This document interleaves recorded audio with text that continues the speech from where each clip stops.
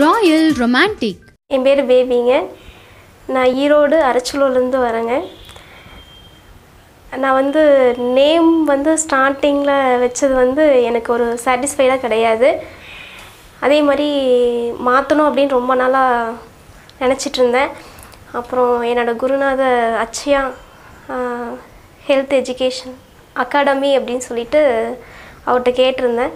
அச்சயன் சார்கிட்ட அவர் சொன்னார் நல்லாயிருக்கு அப்படின்ட்டு. வந்து பார்த்ததுல ரொம்ப திருப்தியாக இருந்துச்சு. ஆஹ் இது நாள் இல்லாத சந்தோஷம் இப்போ நிறைவாக இருக்குது